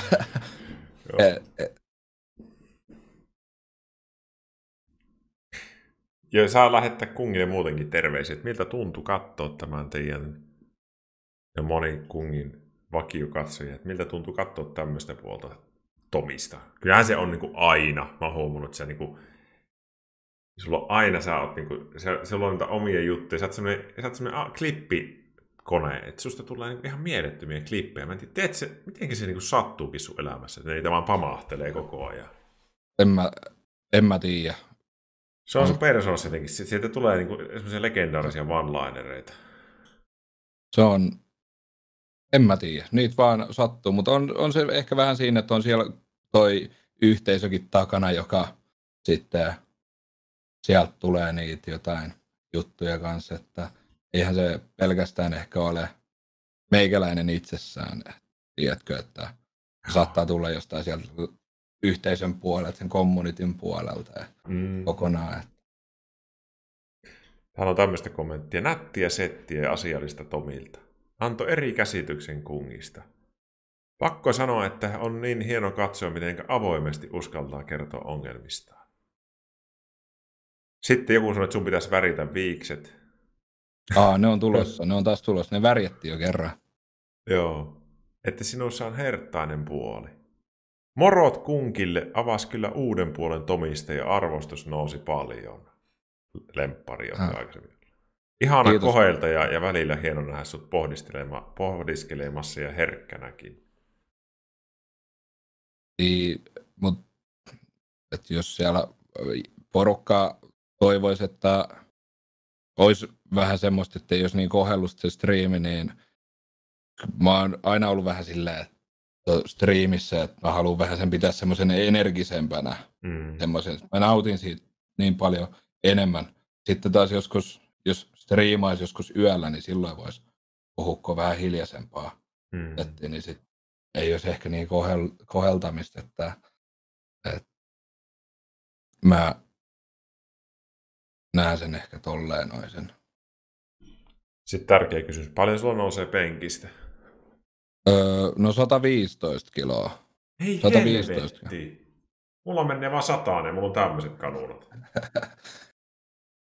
No, mutta kun se, no, se on tosta tisseistä, kato, kun mä oon syönyt sipsiä niin paljon, niin tiedätkö, niihin on niin paljon varastoitunut energiaa. Siis mitä helvetti, sä oot ihan sairaan vahva vielä. No. Tuo oli mulle iso ylläri tässä. Mä oon niinku, nyt alkoi hirveä vääntäminen penkki, että pääsee kungin tasolle. Kuule vanhos, kun Tulee alku huonone, sun tu, sulla alkaa huonone vaan sun tulokset. niin alkaa. Aa. Testo Kung tuli tänne. Sulla, mu- sulla kato kiveksistä nousee koko ajan sitä hyvää ainetta, sitä, tietsä, niin. Testo, se oikein pöllähtää sulla tänne. Juu. Mulla siellä roikkuu. Ei tule mitään. sulla on ne johdot jo niin pitkät, kun ne roikkuu niin, että ja sieltä ei tule enää mitään. Mutta kyllä mut kyllähän mulla on about 100 kiloa painoakin, että kyllähän sekin varmaan tuo jonkun näköistä siihen sitten. Että... Helvetti! Mä en paina vielä sataa. Mä oon kaksi metriä pitkiä. Sun, sä, tarttisit, sä, tar, sä tarttisit vähän jotain tuohon luiden ympärille, kato. Niin tarvii, Kat... nyt pitää. Sä tarttisit semmoisen isimasun oikein. Vai, oot, sä, oot säkin hirmu hujoppi? En mä kuin metri 83. No oot sä kuitenkin ihan... Joo, joo. Hei. Helekari. Sä oot käynyt sillä salilla kuitenkin. Tässä on... on... Onks penkki sun bravuuri? Ei ole olkapää oikeastaan. Olkapäätreeni on ihan mun lempparitreeni kaikesta. Että... Teepä joskus live-striimi, niin mä katson, kun sä reenat. Ollaan me, me tehty. malli. Juunaksen kanssa käyt. Joo, ollaan tehty silloin tehtiin tuossa syksyllä. Mutta Juunassa ei ole nyt paljon oikein treenailu. Tre, ei pyst, se ei pystynyt treenaamaan tuossa ja kaikkea, niin siksi on jäänyt vähän väliin. Se on ollut kiva tehdä sen kanssa live kun toinen pystyy pitämään kameraa siinä ja kuvaa Kyllä. ja toinen sitten treenaa ja sitten vaihdetaan aina, niin se on ollut ihan hyvä. hyvä Joo. ja... Joo.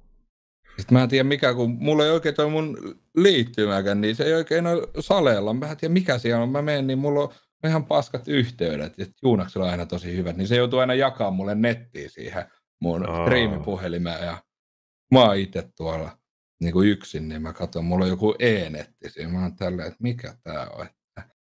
Jotain Spotifysta kuuntelee musiikki, väli se pätkäsee, kun se joutuu mennä jonnekin ikkunan viereen, että ei tulisiko tänne yhteyksiä. Hitto, mä jos tuun, joskus satutaan samalle paikalle, niin pidetään yhteistreenit. Joo, todellakin. Ja jos mä joskus tuun matkalle Tallinnaa vaikka perheen kanssa, niin saanko mä laittaa sulle viestin? Totta kai saat, ehdottomasti. Kiva. Koska se on semmoinen paikka, missä on tullut... Meillä oli esimerkiksi yhdessä vaiheessa tapana, että me käytiin tota, niin, joulunakin käytiin. Niin kun oltiin Tallinna Hiltonissa, siellä maksoi jouluna tyyli 90 yö. Joo. Se Joo. oli ihan törkeä siisti jouluviettotapa. Siis siellä on niin ihana se joulumeininki se Tallinnassa. Joo, ja se on tosi hyvä hotellikin, että tuohon hintaan. Niin Suomessa sä et pääse omena hotelliin sillä, sehän on ihan huippuluokan hyvä hotelli. Tämähän on se joku joulutori e- ekookki. Oh, ja siellä olisi alakerrassa oli joku kasinokin, mutta... Niin taitaa olla, joo. joo. Ei tullut. Se... Meikäläinen ei siellä iksinyt käymään, mutta... Olisi hauska käydä semmoisella live-kasinolla joskus. Käyttekö te niissä? En mä kyllä paljon käy, että mä, oon niin, mä hävisin mun, häviäisin mun rahat kaikki sinne. Tai noin, varmaan niin. Mä oon niin huono pelaa pokeria tai yhtään mitään muutenkaan. Niin, Joo. Et, et, ei tule paljon käytyä. Ehkä joskus, no Helsingissä joskus tuli ne Helsingin kasinolla käytyä, mutta kyllä ne otti enemmän kuin ne antoi, että ei, mm. ei musta noihin mihinkään. Aiotko striimata vielä tänne? Öö, en mä usko, että mä varmaan menen katsoa temppareet vaan ja huomenna sitten, huomenna sitten uudelleen, että ei mulla varmaan tänään ole. Okei, no niin mä olisin antanut sulle nämä sun katsojat takaisin, mutta jos et, niin... Eiköhän ne ole huomennakin siellä, mä Huomenna sitten ei mitään, niin tota... Kuulkaa hei, mä voin vielä itkeä hetken höpistä. Mä sanon sulle nyt tässä kohtaa, että kiitos ihan helvetisti. Tämä oli ihan mahtava vierailu. Ja Ei. Kiitos sulle. Terveisiä Ellalle ja äh, Juunakselle ja kaikille muille yhteisöille ja Jyppelle ja, ja, ja vie itsestäsi huoli. Ja terveisiä jos Anssille, jos oot sen kanssa joskus jutulla. Ja, Kyllä. Vitsi. Ja ki- kiitos paljon. Tämä oli tosi mahtavaa. Tämä Se oli tosi hienoa. mahtavaa. Oli. Oli hieno. Hieno rupatella ja Mä oon niin pelottava tyyppi. Ei, et, vaikka mulla oli aluksi ihan kainalat ja selkähiessä tässä näin. Et, et mä ajattelin, että tämä, tämä tuntuu aluksi siltä, että olisi mennyt Kireksin rehtorin kuulusteluihin, mutta tämä olikin loppujen lopuksi moi Nalle Karhu, joka otti vas, avosylin vastaan. Se on, kaikki on vähän jännä, mutta, mutta sitten aika nopeita niin tässä. Mä on, jos mä jossain hyvää, niin mä saan tehdä kivan tunnelman. No joo, sen sä teit kyllä. Tämä oli tosi hyvä. Että ja seuratkaa Kungin kanavaa ja munkin kanavaa saatte seurata, jos tykkäätte tämmöistä. Ensi viikolla on Roni Backi vieraana. Me jatketaan oi, oi. tällä, tää, sä, sinä ja Roni, niin aika huikeita vieraita ollut tässä. Se on aika, sehän on ihan Suomen ykkösluokkaa. Bravo, se on ihan mestari sosiaalisessa mediassa. Niin se, on, se, se äijä osaa niin laittaa kuvia IGC ja tehdä videoita. Joo, on kyllä hienoja, ja hienoa, että hänkin sanoo vaan, että no hitto, hän haluaa osallistua tähän, että tämä on huikea tämmöinen niin mielenterveyden parannusjuttu. Niin. Tosi hienoa, tosi hienoa. Ei sitä tiedä, vaikka joskus törmätään CS-servuilla. Mä oon tosi huono, vaikka mä oon ensessä.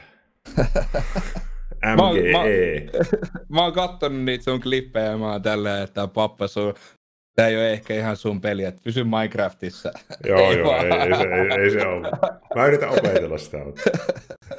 Kun sulla onnistuu toi Lego rakentaminenkin hyvin, niin Minecraftissa, ajattelet, teet Minecraftissa seuraavaksi ton. Arvaa mitä mun, mun pitää tänä iltana vielä tehdä. Mulla on tämmönen täällä. Unboxaus. Live-striimissä. Pitäisikö tehdä live? Mä haluaisin tehdä se ilman on... liveä. Kun, ai, ai. Tulee, kun mulla on näitä kännykkävalintastriimejä, niin katsojat tyyliin repii toistensa hiuksia päästä ja haukkuu toisiaan sille vittu sinä iPhone sekopää, ja sitten toinen on sille Androidin ihmiset sieltä. Se on ihan hirveetä. Kannattaa seuraavaksi, kun olet kokoamassa konetta, niin kysyä, että AMD vai Intelin prosessori, Ei. niin se on ihan sama, Tai sitten jos olet autoa ostamassa, niin... Et, onko sulla se Tesla vai? Mulla on Tesla. Kenen? Niin, no olisit siitäkin pitänyt Mersu vai Bemari, se on sama. niin, niin.